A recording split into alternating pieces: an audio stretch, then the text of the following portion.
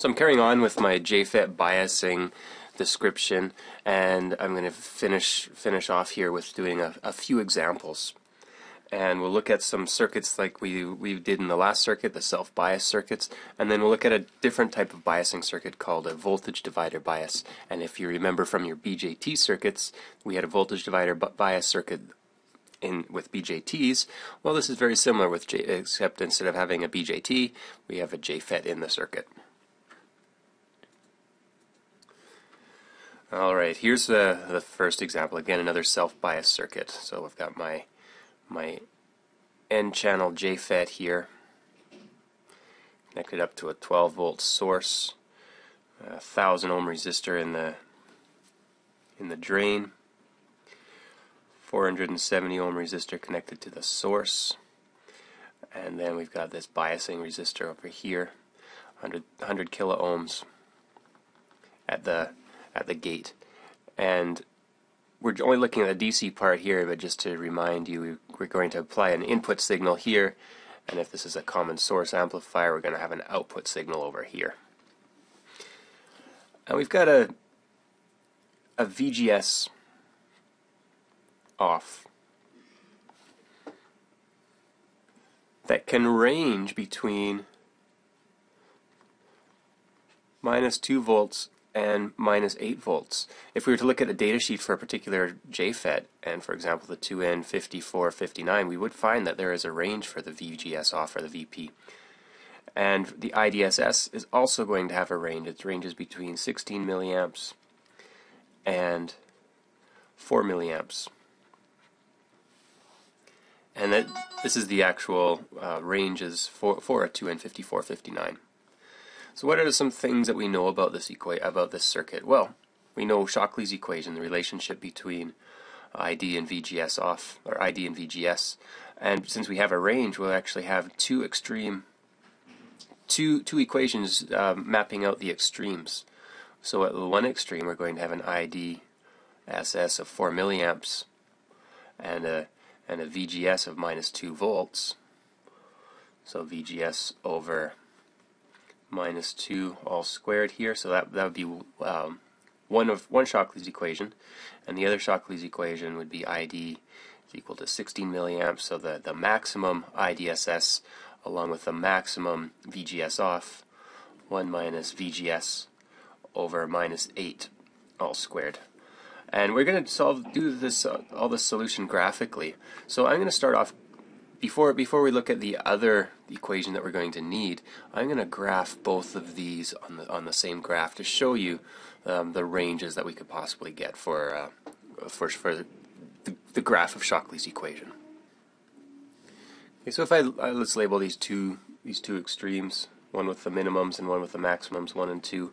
So for for equation one, what are the four points that we're going to have for VGS and ID? We'll have 0 volts and 4 milliamps at one extreme and minus 2 volts for the VP and 0 milliamps when we're at when we're at pinch off. We're going to use a 0.3 of v VP here, so minus 0.6 volts gives us half of ID, and half of VP minus 1 volt gives us a quarter of ID, um, IDSS I should say. So we plot this out and we get, um, let's see, at 0 we get minus, at 0 volts we get 4 milliamps and at minus 2 volts we get 0 milliamps. At minus 0.6 volts we get 2 milliamps and at minus 1 volt we get 1 milliamp. So we have a curve that looks like this. For the for the minimum VP and the minimum IDSS. And for equation number two, values for I, VGS and ID, 0 volts and VP of minus 8 volts and the points in between of 0.3 of VP, so 0.3 of VP is 4.8 volts. Uh, what am I saying? 2.4 volts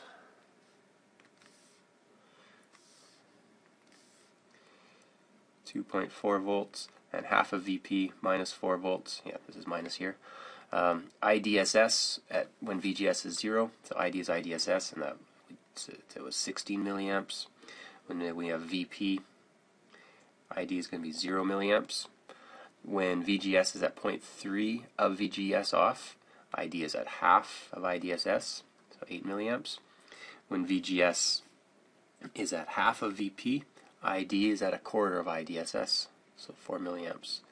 So what are my points on, on this graph? Well, I've got my one extreme there, I've got my other extreme there, my points in between at minus 2.4. I'm at 8 minus 2.4 volts, I'm at 8 milliamps, and at minus 4 volts, I'm at 4 milliamps.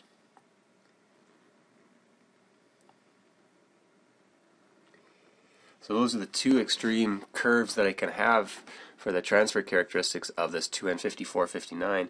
The actual curve could be could be anything in between as long as my my start point is somewhere between these two dots these two points for VGS, and as long as my endpoint for ID is IDSS is somewhere between 16 milliamps and 4 milliamps. So I'm really just I'm getting the the extremes of the two equations. Now the third piece of information I need. So I've got my two transfer characteristics. I want my characteristic for this particular circuit, and that characteristic is what it what is VGS equal to? Well, the gate voltage is 0 volts and the source voltage is ID times minus 4700. So VGS is 0 volts for the gate minus VS which is ID, not 4700, ID times 470. So VGS equals negative 470 ID. And I'm gonna, I can plot this on the graph. I'm gonna do it in green over here. So I pick a couple of points because this is just a straight line. I pick ID of zero. VGS is zero. And on my other extreme, I'm going to pick an ID of 10 milliamps, which will give me a VGS of 4.7 volts. So 10 milliamps, 10 milliamps, 4.7 volts is right about there. And draw the line between them.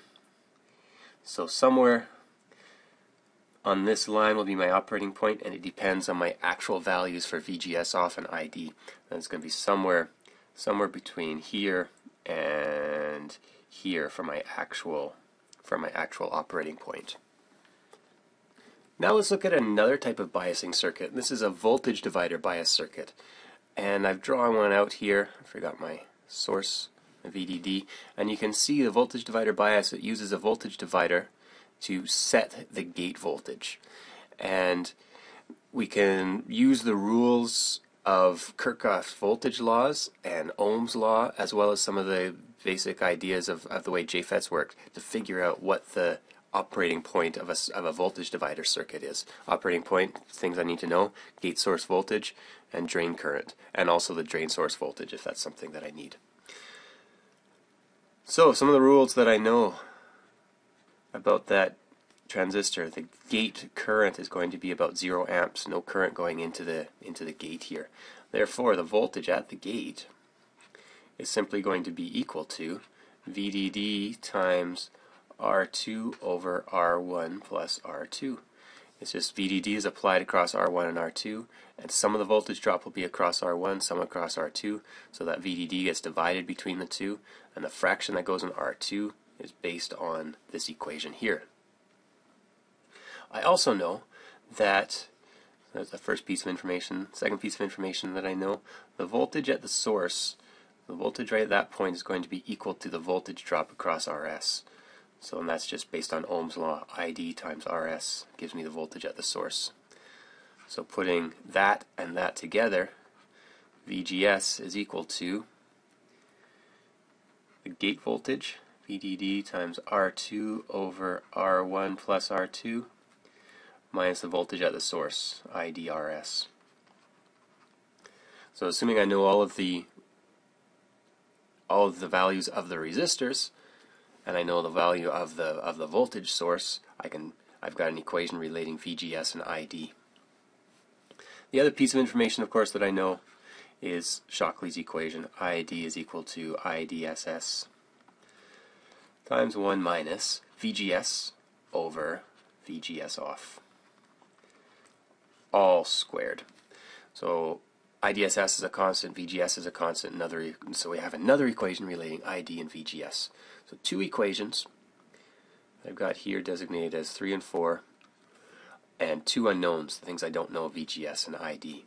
So I can I can solve for VGS and ID graphically, like I did in with the self-bias circuit, or I can solve numerically.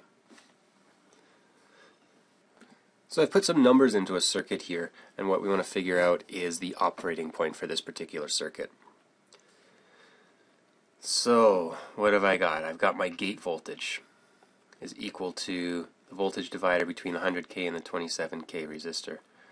So 12 volts times 27 over 127 works out to 2.55 volts. My source voltage is equal to 680 ID. So my gate source voltage will be 2.55 minus 680 ID. So there's one equation relating VGS and ID. The second equation relating VGS and ID is Shockley's equation ID is equal to IDSS 0.04 amps times 1 minus VGS over minus 3. And then this is all squared. So the information that I can I can create from these two equations to create my graphs looks like this. So from, from Shockley's equation, I get VGS and ID. So my VGS of zero, my four points for VGS is zero volts. Let's go with, uh, and then 0.3 times VGS off, or VP, 0.3 times VP. So that's negative 0.9 volts. Half of VP minus 1.5 volts and VP minus 3 volts gives me an ID of IDSS for, for this point. Gives me an ID of half of IDSS for this point and quarter of IDSS for this point, and of course zero for, for this point. So there's one graph, or one, one set of points for, for Shockley's equation. And for the linear relationship due to the, to the circuit, the linear, relationship between VGS and ID, uh, well, there's a little bit more work here than, than in the previous uh, self-bias circuit, but I can pick two points, one with ID is 0 milliamps and the other where VGS is 0 volts. And I get uh, when ID is 0, I plug it into to this equation right here.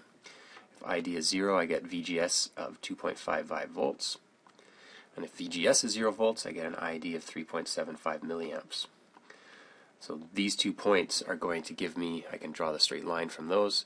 These four points are going to help me draw the quadratic equation. And this is what I end up with when I plot those two graphs and I find my intersection point is very close to IDSS, very small VGS, and an ID close to IDSS. Okay, one more problem.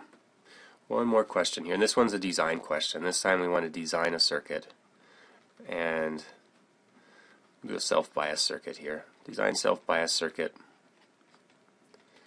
that has the following characteristics. We've got a JFET that has IDSS of 10 milliamps, has a VP of minus 5 volts, and we want an ID to be a quarter of IDSS. So that's going to be 2.5 milliamps. And we need a VDS of 8 volts and our source is 20 volts. So self-bias circuit, so that means it's going to V in here. Here's my JFET. Some RS here. Get 20 volt source. Biasing here with a one, one mega ohm resistor at the gate over here at the source. We've got an RS. Oops, this is RD up here. And so we want to figure out what values of RD and RS are going to work for this circuit. Well, to start off with, if we look at Shockley's equation again, ID is equal to 0.01 times 1 minus VGS over VP is minus 5 all squared. Well, I want an ID of 2.5 milliamps, so I can plug that number in here. An ID of 2.5 milliamps, 0.0025. I only have one unknown in this equation. I can solve for VGS. Let's not do the algebra here, but I can figure out that VGS is going to be equal to minus 2.5 volts. So that's my there's my operating point. VGS of minus point minus 2.5 volts with an ID of of 2.5 milliamps. For self-biased circuits like this, our gate voltage is at zero, and our source voltage then is is going to just be determined by the current through this circuit uh, through this resistor times the resistance of it. VGS, we know what it is. It's minus 2.5 volts, and that's equal going to be equal to zero minus IDRS. Well, I know what ID is. I can plug the number in here for ID. 0.0025 RS. And here's my equation here. I have only one unknown. I can solve for RS. RS is equal to 1 kilo ohm. So I have a 1 kilo ohm resistor that's going to set my VGS up for, for what I need. The only thing left is figuring out what value I need for RD. Well, in this particular circuit here, we've got 20 volts. Uh, We're applying Kirchhoff's voltage law. We've got 20 volts from the source, minus the drop across RD, minus VDS, minus the drop across RS, gives brings me down to zero. So setting that equation up, 20 volts minus IDRD, so that's 2.5 milliamps times RD minus VDS. Well, I know what VDS I want. I want a VDS of 8 volts. So minus 8 volts minus, well, this is just the source voltage, VS. I've already figured out what, what VS is. It's 2.5 volts. Brings us down to 0. And the only thing that I don't know in this equation is RD, so I can solve for RD, and I get a value of 3800 ohms. So I put a RD of 3800 ohms and RS of 1 kilo ohm and I've got my self-bias circuit set up to give me these parameters. So I hope these examples have helped you get an understanding of biasing circuits for JFETs and I'll see you in the next video.